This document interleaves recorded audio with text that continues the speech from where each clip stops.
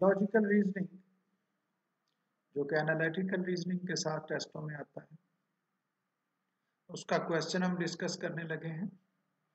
और ये बहुत अच्छा क्वेश्चन है, जो एक खास टाइप के आर्गुमेंट क्वेश्चन को फोकस करता है। तो अगर स्टेटमेंट पढ़ने से पहले आप इसकी क्वेश्चन पढ़ लें कि इसने पूछा क्या है तो आपका पढ़ते हुए उस पर फोकस रह सकता है। आप इस टेक्निक को अडॉप्ट कर सकते हैं। ज़्यादातर बुक्स रिकमेंड करती है कि पहले देख लें, उसने पूछा क्या है। क्योंकि इसमें आठ टाइप के क्वेश्चंस होते हैं। तो किस टाइप का पूछा है, वो अगर आपके माइंड में होगा तो आप पैरे का ज़्यादा अच्छी तरह से जायजा ले सकेंगे। तो अगर क्वेश्चन हम देखें, आखिरी लाइन देखिए। The argument above is most weakened by its failure to mention argument ज़्यादा वीकन हो रहा है किस बुनियाद पे कि यह नाकाम है किसी खास बात का। ऐलान करने में, किसी बात को वजाहत करने में, उसकी तरफ़ इशारा करने में। तो गोया जो चीज़ वीकन कर रही है इस आर्गुमेंट को, या जिस बात का ज़िक्र करने में वो नाकाम है, वो हमारा टारगेट है, वो हमने ढूंढनी है। स्टेटमेंट को देखते हैं।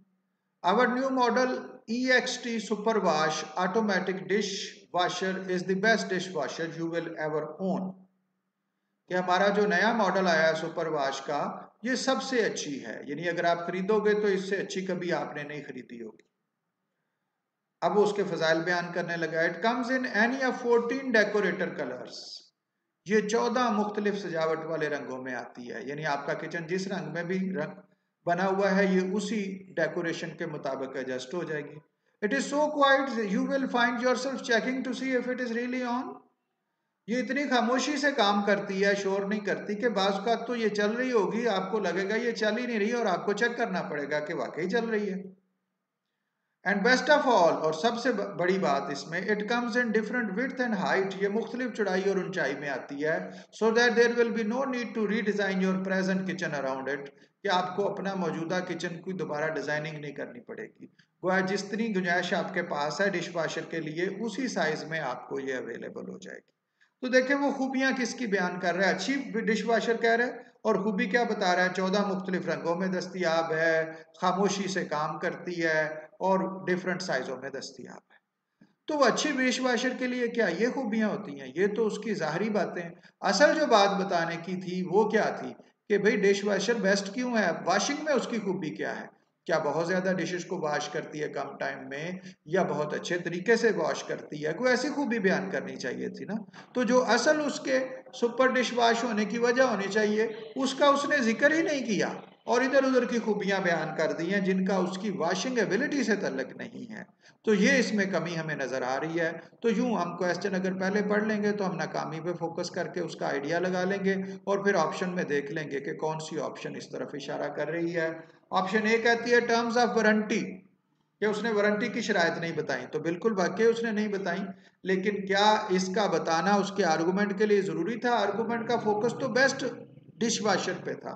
तो बेस्ट होने के लिए वारंटी की शरात नहीं, बल्कि उसकी परफॉर्मेंस इशू होनी चाहिए। बी कहता है how well dishwasher washes dishes वो कितनी अच्छी तरह डिशेस को धोती है।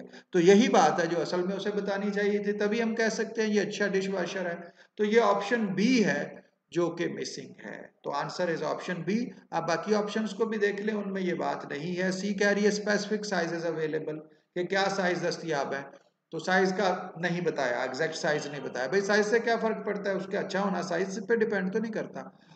डी कहता है how much electricity dishwasher uses बिजली कितनी इस्तेमाल करती है? ये नहीं बताया। तो बिजली कम इस्तेमाल करना एक इजाफी खूबी ज़रूर हो सकती है, लेकिन पहले तो देखना होता है, असल काम भी होता है कि नहीं होता। अगर एक वाशर बिजली कम इस्तेमाल करता है, लेकिन जो है वो प्लेटें अच्छी नहीं धोता तो फ़ायदा क्या? ई कहता है how many dishes the dishwasher hold इसमें कितनी डिशें रखी जा सकती हैं? तो भाई रखी जाने की बजाय वो कितनी अच्छी धोई जाती है इस पर फोकस होना चाहिए। सो so, हर अंदाज में हमें लग रहा है जो मिसिंग चीज़ है वो बी है कि डिश वाशर टिशू को वॉश करने के हवाले से क्या करता है वो उसे बताना चाहिए था वो उसने नहीं बताया तो ये उसके आर्गुमेंट की कमी है। तो इसको आप वीकन वाला क्वेश्चन की टाइप होगी और भी बाकी टाइप्स के क्वेश्चन के लेक्चर्स आपके पास यहाँ दस्तियाब हैं। आप उन्हें देखें बार बार देखें ताकि आर्गूमेंट्स को समझने के अंदाज आपके जहन में बैठ सकें और आप पेपर में भी अच्छा परफॉर्म कर सकें। और अगर वीडियो आपको पसंद आई हो तो इसको लाइक कर लें। बहुत शुक्रिया।